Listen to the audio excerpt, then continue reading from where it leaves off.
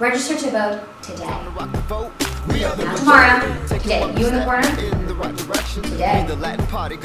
Today.